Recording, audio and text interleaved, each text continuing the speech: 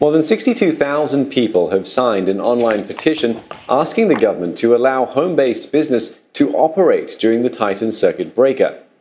Minister in charge of Muslim Affairs, Masagos Zulkifli, says it is irresponsible to pressure the government to allow them to operate, as this might cause more people to get infected because of the high number of orders this close to Hari Raya.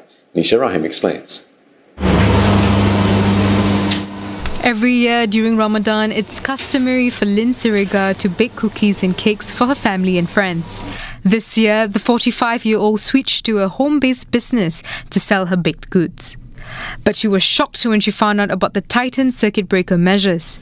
Operators like her were not allowed to deliver orders or ask customers to collect them to minimize human contact. Now, those who flout the rules face a $1,000 fine we already spent over one thousand dollars for the ingredients and the packaging. Some the some of the ingredients like uh, butter, chocolate, we can't keep too long. So um, in the end, this will be wastage and loss of um, our our money also. And Lynn was not the only one who was affected. Seri Rahim's home based business plunged by 80% since the start of the pandemic.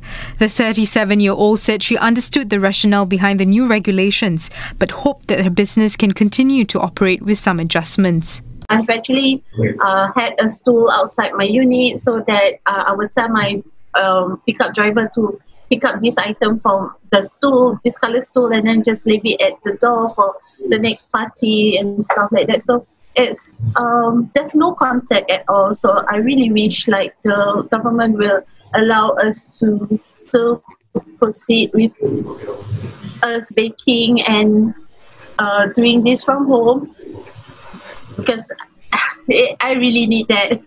Minister in charge of Muslim Affairs Masagos Zulkifli says he's sympathetic towards home-based business operators like Ms. Seri Rahim, but he's alarmed by those who are encouraging these operators to pressure the government to make exceptions, calling their actions irresponsible. More than 62,000 people have signed an online petition calling for the government to allow home based food businesses to operate with restrictions rather than not allowing them to operate at all. Mr. Masagos added that if the businesses continue to operate, they run the risk of getting infected or becoming a COVID 19 cluster, more so during this time when the orders pile up for Hari Raya.